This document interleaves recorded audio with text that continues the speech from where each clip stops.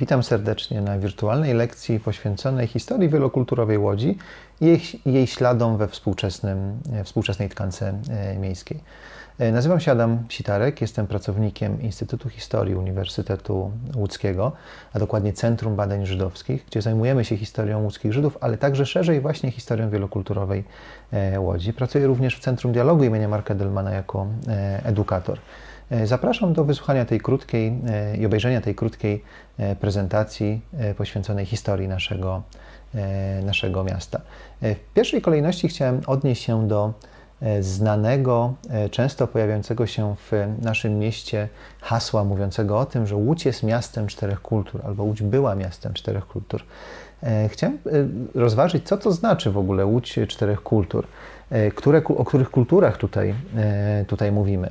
E, to, co jest myślę interesujące w tym e, haśle, to sam fakt, że nasza historia ma dosyć bogaty potencjał e, promocyjny. I właśnie ten potencjał promocyjny to jest, jest wykorzystywany między innymi właśnie przez to, przez to hasło. To jest przykład takiego wykorzystania, można powiedzieć.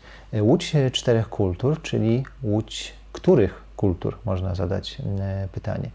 E, te cztery kultury, o których e, tutaj e, mamy mm, na myśli, to są te kultury, które widać na, które widać na ekranie. Jest to kultura polska, to są Polacy mieszkający w Łodzi, historia Polaków mieszkających w Łodzi, historia łódzkich Żydów, historia łódzkich Niemców i także mieszkających w naszym mieście Rosjan. To są te cztery kultury, które według tej legendy Łodzi czterech kultur budowały historię i potęgę naszego E, naszego miasta.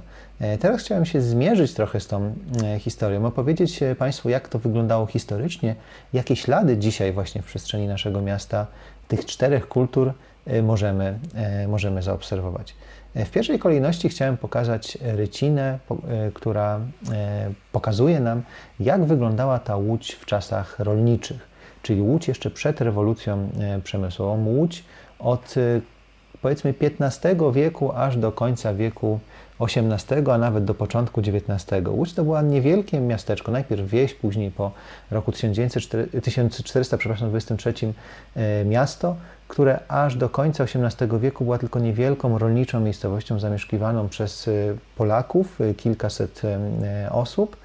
E, I dopiero pierwsi przedstawiciele e, innych narodowości pojawili się, jako mieszkańcy Łodzi, pojawili się właśnie w końcu XVIII wieku. To byli e, łódcy Niemcy, którzy związani byli z aparatem administracyjnym, albowiem wówczas Łódź znajdowała się pod zaborem pruskim, i także pierwsi osadnicy żydowscy. Być może Państwo kojarzą to miejsce, które tutaj widać na, na tej rycinie. E, to jest kościół na górce, na wzniesieniu, gdzie dzisiaj znajduje się kościół w niebowzięcie Najświętszej Maryi Panny, na początku ulicy Lutomierskiej, przy ulicy Zgierskiej, tam gdzie zaczyna się ulica Wojska Polskiego, a poniżej ten duży plac oznaczony tutaj literą D to jest rynek Starego Miasta, bo to jest właśnie Stare Miasto Łodzi. Na dole widać przepływającą rzekę e, Łódkę i staw z, po prawej stronie z młynem, e, młynem łódzkim. Tak wyglądała Łódź rolnicza ta, ten obraz miasta, e, obraz jeżeli chodzi o samą e, zabudowę, ale także strukturę narodowościową, zmienił się w momencie, gdy Łódź znalazła się, e, została włączona w poczet miast przemysłowych.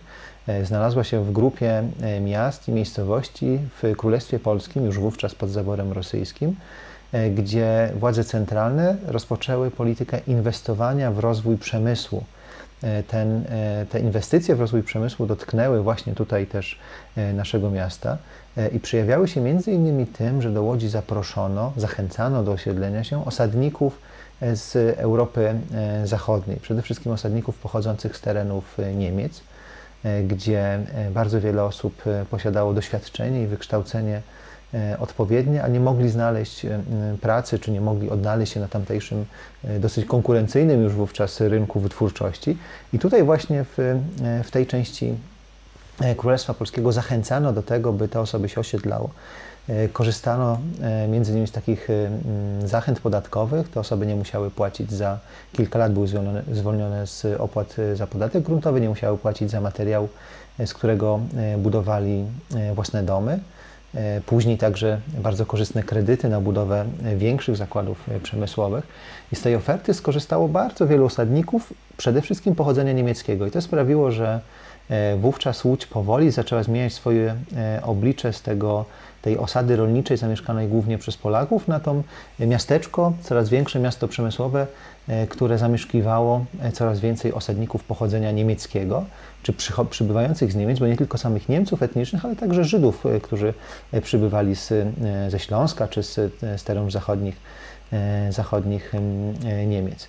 E, tutaj na tej mapie widać doskonale, jak te zakłady przemysłowe, to są te ciemne plany zaznaczone tutaj na, tym, na tej ilustracji, jak te zakłady przemysłowe obrastały dookoła całe, całe miasto.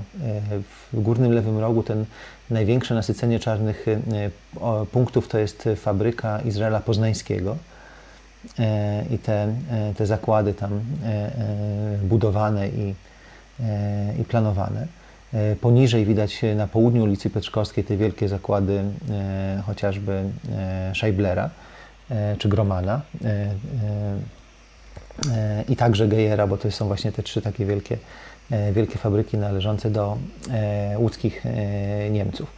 To bardzo fajnie pokazuje, jak właśnie zmieniała się też struktura i obraz miasta, ale także, co za tym idzie, zmieniała się struktura narodowościowa.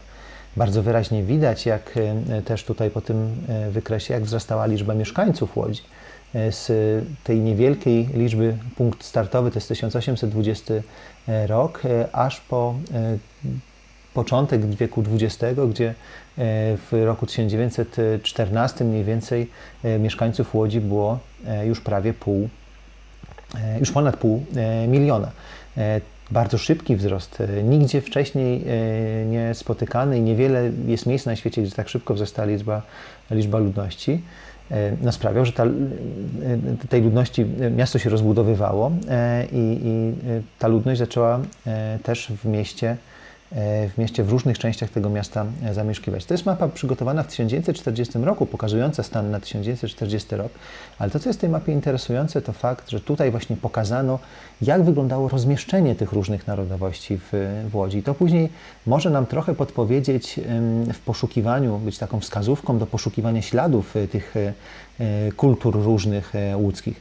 E, tutaj na tej mapie zaznaczono kolorem żółtym miejsca, gdzie mieszkali łódzcy e, Żydzi, kolorem czerwonym, gdzie mieszkali Polacy i kolorem czarnym, gdzie mieszkali e, Niemcy. I to też bardzo ciekawie pokazuje i wizualizuje nam, jak duże rozmieszczenie było chociażby ludności żydowskiej w okolicach Placu Wolności, to jest ten centralny punkt, czy w okolicach Starego Miasta.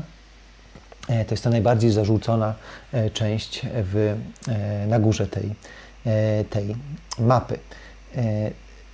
To, co jest interesujące, to myślę, że warto y, powiedzieć o tym, y, chociaż to jest niezwykle trudne, w jaki sposób y, ten koniec XIX i początek XX wieku, aż do roku 1939 spróbować uśrednić, jak, czym charakteryzowały się poszczególne mniejszości, jakimi zawodami się trudnili.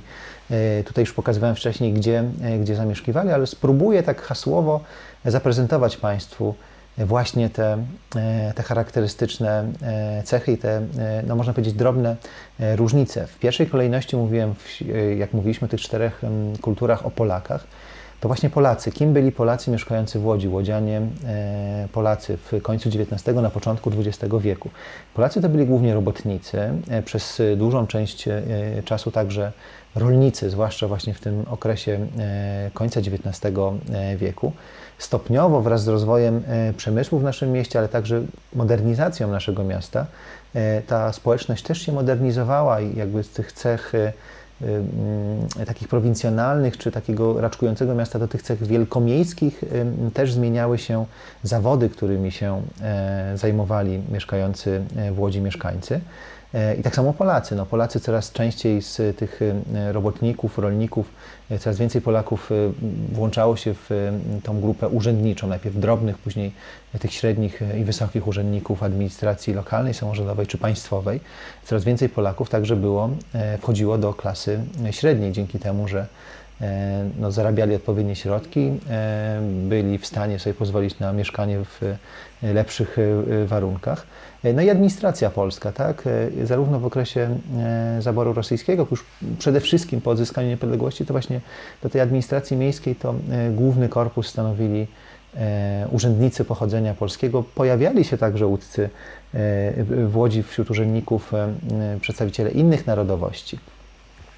Jeżeli mówimy o Żydach, tej największej ludzkiej mniejszości, to Żydzi zajmowali się takim drobnym wyrobnictwem, byli oczywiście robotnikami, handlarzami w tym końcu XIX wieku. Później wśród Żydów pojawiły się takie wybitne jednostki, chociażby Izrael Poznański, który zaczął prowadzić takie duży, e, duże przedsiębiorstwo i fabrykę, e, która była jedna z najbardziej, największych e, fabryk działających w Łodzi, a jemu pozwoliło to włączyć się do jednych z najbogatszych, do tej elity łódzkiej, łódzkiego życia towarzyskiego. Więc wśród Żydów także byli fabrykanci. Tych fabrykantów było całkiem wielu, zwłaszcza tych takich fabrykantów średniego szczebla, nie tych największych, ale tych średniego szczebla. No i także, tak jak w przypadku Polaków, tak żydowska klasa średnia zwłaszcza po odzyskaniu niepodległości w roku 1918 też coraz więcej e, było e, właśnie Żydów w klasie średniej, zwłaszcza przedstawicieli wolnych zawodów, lekarzy, e, dziennikarzy czy, czy, czy prawników. To też jest bardzo, bardzo interesujące. Ta trzecia mniejszość, o której, czy druga mniejszość, ta trzecia narodowość, o której chciałem powiedzieć, to Niemcy. Mm, wśród Niemców łódzkich, mówiłem na początku, w tej historii łodzi przemysłowej było bardzo wielu E, wytwórców drobnych, tych osadników przybywających do Łodzi, którzy byli tymi pionierami budowy łódzkiego e, przemysłu. E, I to właśnie oni później przerodzili się tym, którym się udało w tą klasę tych najważniejszych, tej elity fabrykanckich. Te największe i najbogatsze zakłady przemysłowe, produkujące najwięcej, to były z reguły zakłady należące do łódzkich Niemców albo założone przez łódzkich, przez łódzkich Niemców. Sporo było także niemieckich robotników w Łodzi. E, wytwórców. E, stopniowo też ta, e, podobnie jak w przypadku Żydów czy Polaków, ta klasa średnia niemiecka się bardzo szybko kształtowała. No i w okresie I wojny światowej, kiedy Łódź znalazła się pod okupacją niemiecką, tą pierwszą okupacją niemiecką i później w roku 1939 do 1945, kiedy Łódź była ponownie pod okupacją niemiecką, bardzo dużą część łódzkich Niemców stanowili stacjonujący tutaj wojskowi, żołnierze, policjanci, E, czy te e, administracja wojskowa. Więc to jest też bardzo, e, bardzo charakterystyczne. No i ostatnia mniejszość to Rosjanie. Rosjanie, która trochę moim zdaniem, ale to jest tylko moje zdanie, nie wiem czy podzielają je inni badacze, to jest taka kultura już trochę legendarna, czy trochę na wyrost dodawana do tych, tych najważniejszych łódzkich kultur, aczkolwiek, co widać tutaj na tej ilustracji, cerkiew E, prawosławny, e, prawosławna e, Aleksandra Newskiego przy ulicy Kilińskiego bardzo wyraźnie zaznaczyła się ich obecność w tkance miejskiej. Rosjanie w czasie zaboru rosyjskiego stanowili tam najważniejszy korpus urzędniczy stacjonujący w naszym E, czy przebywający w naszym mieście, te rodziny urzędników, e, a także klasa średnia, nauczyciele, e, no właśnie administratorzy czy, czy policja, to też jest bardzo ważna część tej społeczności. Niewielu było fabrykantów pochodzenia rosyjskiego, wśród nich wyróżniają się bracia Stolarow, którzy też zresztą później bardzo szybko się asymilowali do, do polskości. To też jest bardzo ciekawa historia tej, E, tej rodziny. E, ale tych fabrykantów rosyjskich było całkiem, e, całkiem niewielu w porównaniu z mm, Niemcami czy, czy z ludnością żydowską. W związku z tym, że w okresie I wojny światowej Łódź przez, na początku I wojny światowej i wcześniej w początku XX wieku tutaj znalazła się pod zaborem rosyjskim, to E, w Łodzi stacjonowało bardzo wielu żołnierzy rosyjskich i tej administracji wojskowej i rodzin żołnierzy, więc ten, e, ta grupa była też bardzo e, tutaj istotna i stanowiła dużą część tej społeczności rosyjskiej, która w sumie była najmniejszą z tych wymienionych przeze mnie mniejszości. W drugiej części swojej prezentacji chciałem opowiedzieć o tym, jak widoczne są w przestrzeni miejskiej ślady pozostałości wielokulturowej historii naszego miasta. E, myślę, że jest to temat niezwykle interesujący i temat, który jest podejmowany zarówno przez naukowców, e, którzy zajmują się odkrywaniem i badaniem tych śladów e, w przestrzeni miejskiej, ale także popularyzatorów historii, przewodników łódzkich, którzy wykorzystują te miejsca, opowiadając właśnie o historii Łodzi, wykorzystują te miejsca do pracy. Przez muzealników łódzkich to też jest bardzo ważne, zresztą część instytucji muzealnych w Łodzi mieści się właśnie w takich historycznych budynkach, E, które związane są z różnymi e, kulturami Łodzi.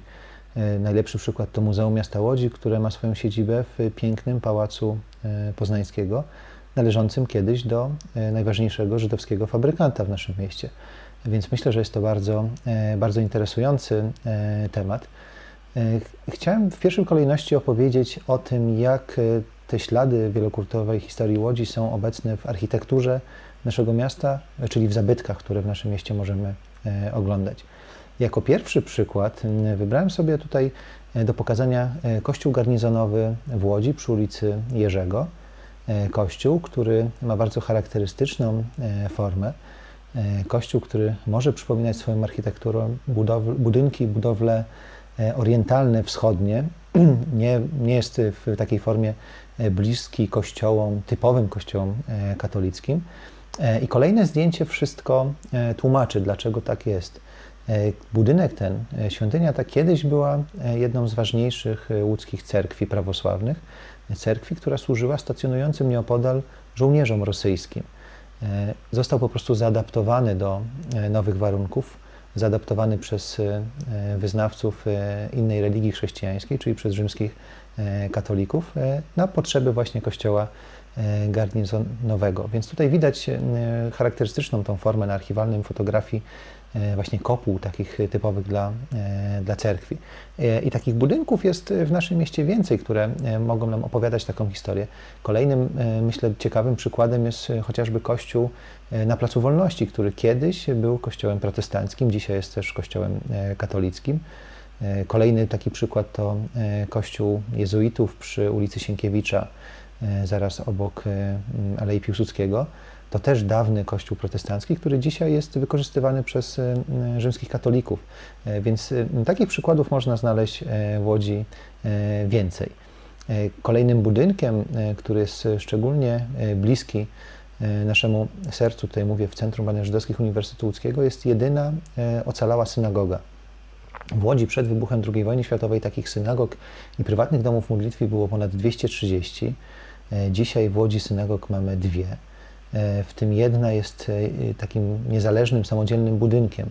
Jest to synagoga położona w podwórku ulicy, budynku przy ulicy Rewolucji 1905 roku. Synagoga należąca do rodziny Reicherów, taka prywatna synagoga wybudowana przez żydowską rodzinę, żeby zaspokajała potrzeby religijne właśnie rodziny i najbliższych przyjaciół.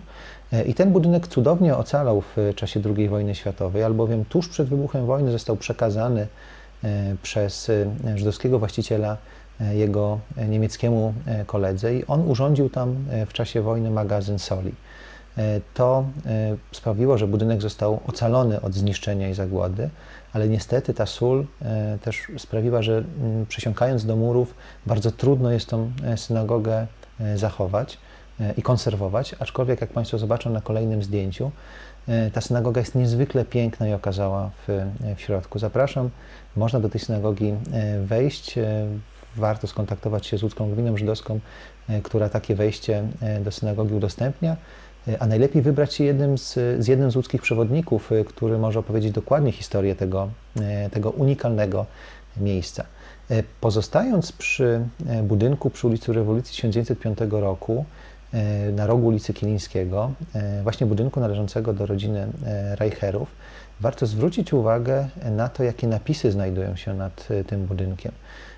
Tuż nad główną bramą, po prawej stronie między pierwszą a drugą kondygnacją i po lewej stronie też między tymi kondygnacjami znajdują się napisy zapisane czcionką łacińską i cyrlicą.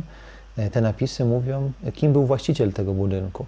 Tutaj Państwo widzą na zdjęciu fragment, e, wyszczególniony detal e, właśnie z napisanym Wilhelm Reicher. E, to jest jeden z niewielu napisów, czy tych pozostałości, które na murach jeszcze w Łodzi się zachowały, które świadczą o tej wielokulturowej, wielokulturowej historii naszego miasta. Napisów albo alfabetem rosyjskim. Tych napisów jeszcze kilka można znaleźć. Zachęcam też do wyszukania w internecie, a później odnajdywania na ulicach tych, tych punktów. Są to miejsca, gdzie znajdowały się sklepy z fortepianami, E, albo jakieś punkty e, e, informacyjne, instytucje. Te napisy są zarówno w języku rosyjskim, jak i czasami też po niemiecku. O tym za moment też powiem. Przy tej samej ulicy, rewolucji 1905 roku, ale pod numerem 19 można znaleźć zasłonięty już kilka lat temu w celu ochrony napis w języku hebrajskim. Jest to napis, który mówi Linat Haolim, czyli dom pomocy, taki szpital dla osób ubogich, który tam właśnie w tym miejscu, gdzie dzisiaj znajduje się przedszkole, się mieścił.